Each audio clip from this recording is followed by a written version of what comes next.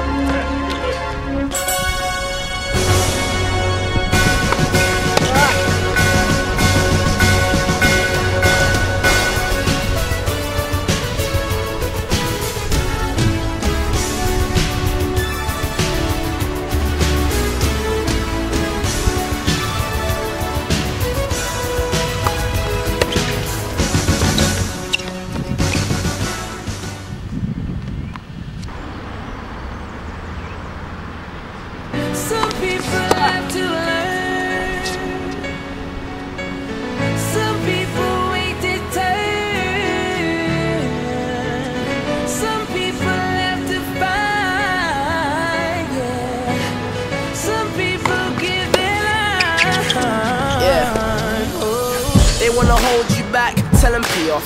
Whenever they say you can't, take the tea off. I remember when they told me I wouldn't be famous. Now my dream and reality simultaneous. And work your own way to the top. If they put you on the pedestal, they could take you off. And there's a higher level than the top. You gotta make more, don't make do with what you got. Yeah, so go and get it in, sunny. Not everybody gets a second chance of getting money. Or even getting lucky. So you gotta feel the hunger in your tummy.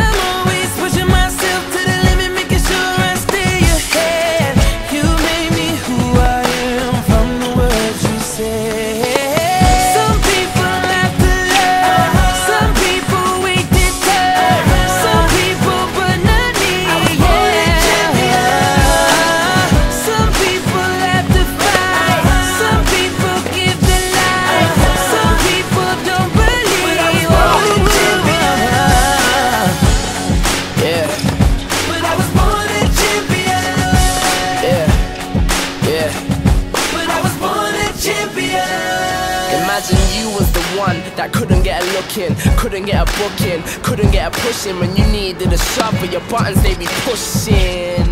So now they tryna shush him. It's only you believing in you, they turn you into a bastard, then moan when you're rude. Attitude a little out of tune. But that's how champions move.